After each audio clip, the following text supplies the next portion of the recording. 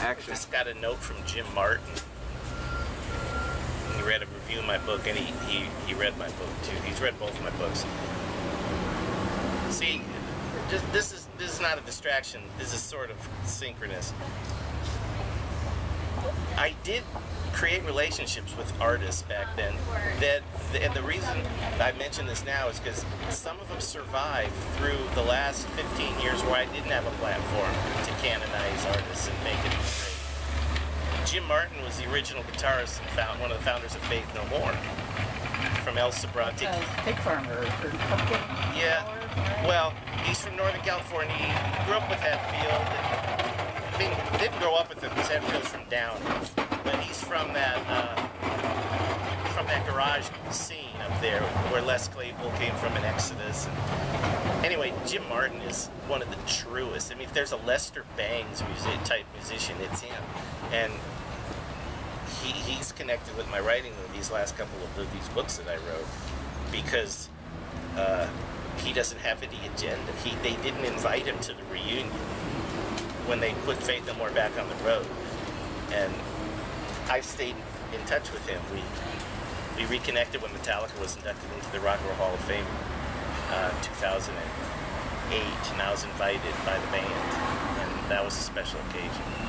That's also something that I mean, Meta- I, I, I consider my relationship with Metallica is, is is is precious. You don't talk to him or see him. Well, I saw years. that YouTube clip that I think he posted with you and Lars after he done the Napster press thing. Not a lot of people have seen that. Yeah, that was one of the, I think the few things that. Well, I'll tell you the story behind that clip. Uh, I was the editor in chief of KNAC.com in 2000, and um, Rob Jones was the he founded it. He took he, he got the old legendary call letters from KNAC FM Long Beach to 95.5, and he, he built built it on the web, and almost overnight traffic started to build because he was doing the first 24/7 streaming hard rock radio station on the web. So it got to the point where they wanted some non-broadcast content, and they found me.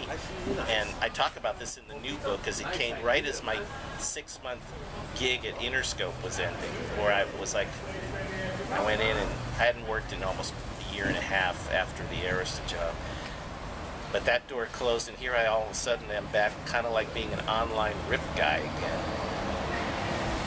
So somewhere, sometime, moment in the spring of 2000, this news story breaks about Napster, and I'm surrounded by all these tech guys. I'm not a tech guy. I still can't do anything but really check my email and occasionally post things on Facebook. But I'm surrounded by all these guys, and they're telling me like this is the biggest story. So Rob says, "Do you think you can?"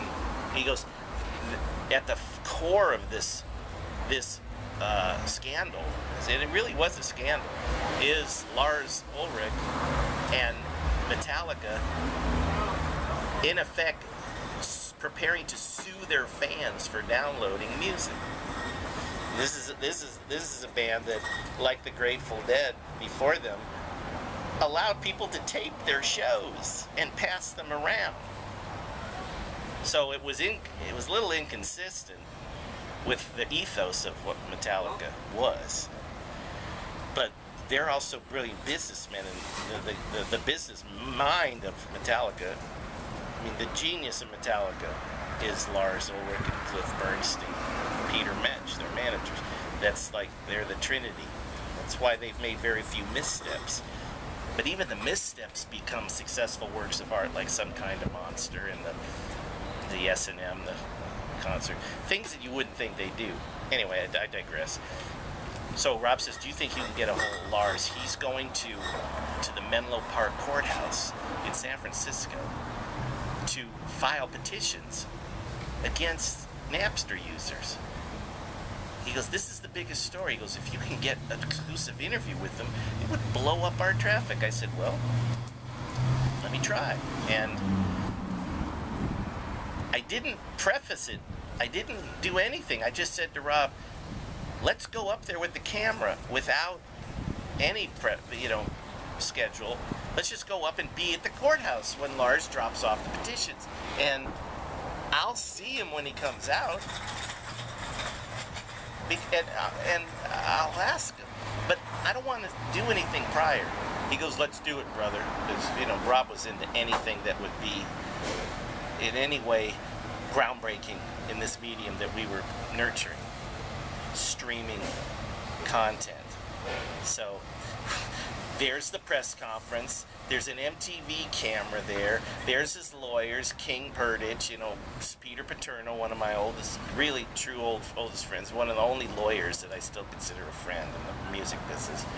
And they're they're on the podium, and Lars is giving some speech about, you know, protecting musicians and and they do their thing, and there's all this hustle and bustle, and I'm standing with Rob, and I, and I'm like, the thing is over, and it's all, and I go, and I like wave, and I catch his eye. He goes like that. I said, Rob, let's go. Let's just wait over here. So we wait. A few minutes later, get into a van, and Lars is sitting in the van with me and Rob, and I go, dude.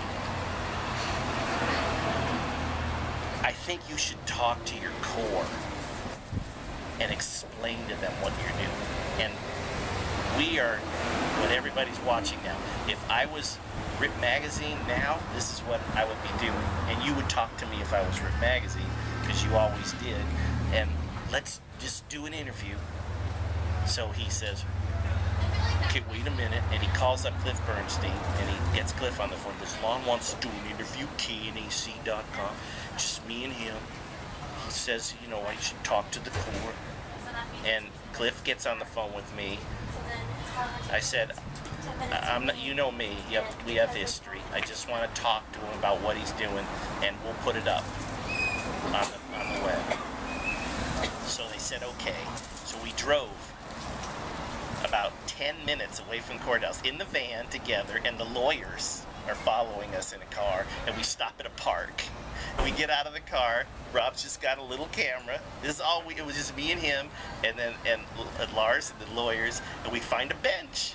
We sit on the bench, and it's just like it was just like it was 10 years before with me and him during the Black Record, or just talking about you know two two old friends and I and you, you can look at the interview your fans need to understand what's you know what, what are you doing what's happening and I'm not confrontational I've never been confrontational especially with people I have history with I just wanted to hear his take so he could tell it we got so much traffic. We got picked up by the Wall Street Journal. They talked about us, and I came back. By by that night, it was up. The next day, it was like, wow, we just pulled the coup, and it was it was cool. Bye guys, have a good Bye, darling. And it was and it was cool. So that's the ins- I don't think I've ever told that story about how that came together, but that's it. Yeah, it was a cool clip to see on Yeah. YouTube. Yeah. I didn't know about the backstory Yeah. that at all. Um, I've heard you uh, described as the Zelig of rock, and Yeah. I had seen a YouTube clip of you and Rikki Rachtman. I think it was like in the, the early days of Rip, and it was around the time that Rikki Rachtman had pretty much done his interview with Decline of the Western Civilization. You were like kind of like very business attire. Well, that was at the no, that was at the very first uh, Rip Magazine Cat House party, the anniversary party. So we were a year old, and Cat House was was celebrating the anniversary. So I met Rikki. I interviewed Rikki for Chic magazine. I, you ask him who's the first person to ever write a piece about you in the beginning of your career in Los Angeles, and he'll tell you in a national magazine. It, it was me. I wrote about him being a club entrepreneur and asked him about, you know, when Nikki Sixx OD'd in his club and stuff. Because he had a buzz, and he also had something that I had. He had the early Guns N' Roses familial connection. We were like all part of that trusted group. He because he had the cool club, and me because I had the cool magazine. So we threw a party together, and yeah, I looked kind of. That's the party where Sly Stone was re- came and was really wasted, and a couple of the Bangles showed up, and Lemmy, of course, was there. That was at the Cat House. So there's not a real big story about that, but it began a run because we we threw. I threw seven parties in a row, and they became iconic. Rick parties. came out like right before Guns N' Roses really hit, and then they Guns N' Roses really became the Rick became the home of that. Yeah, we yeah we definitely we Do had you the think first there was some sort of synchronicity going Of on? Of course there was. Yeah, it was a kind of a planetary alignment. I couldn't have asked for another band to be brought uh, fro- down from the heavens and landed, and to have access to that act. We we ran the first articles, and then I hired Del James, gave him a job because I knew he was close with Axl and the, and, and Izzy. So I gave Del a job. He was a he was a, a fledgling writer from from New York, from Brooklyn, and he he was tight with the guys, and he you know he, he wrote fiction, but he he was just there's so much mistrust all the way through with the Guns N' Roses camp. They loathe the media from day one. Well, Get in the Ring is a perfect example. Yeah, and I'm not I'm not mentioned in that song. You want to hear the get want to hear the get in the ring story? Sure. Okay, so I'm at I'm at Shoreline Amphitheater, Guns N' Roses, Skid Row. Uh, the Use Your Illusion records are being tracked. It was the it was the one and only time I met Bill Graham because he ran by me. uh, because because Sebastian was late going on stage, and he goes, "Who the fuck does that kid think he is, Axl Rose? I'll break his fucking neck." It's hilarious. And then an hour later, he was he, he was walking by. He goes, "Everything's cool. I'm gonna go chase some pussy." Said something like that. Anyway, um, after that performance, I'm in the backstage area. The Shoreline Amphitheater has this kind of like redwood area, this deck, and it's where people kind of hang. It's it, you had to have a laminate to get back there, which of course I did in those days. Head to everybody and got backstage. Yeah, I had to, I had to, get, I had to give, a, I had to get a Hummer to get backstage. Um, so uh, there's like maybe three or four people in Del's back there, and Axl comes out of the dressing room, and he goes, I want to play you something. I said, okay. He goes, stay here. I go, okay. So he comes out, he brings out a CD, and there's these there's a stereo set up on the patio, and there's these two big speakers. So he plays this, and I hear the opening riffs, and it, I, I'm hearing "Get in the Ring," and I'm listening to the verses, and Axl's sitting there with like this shit-eating grin on his face, and I and I go, "Af- "It's over." And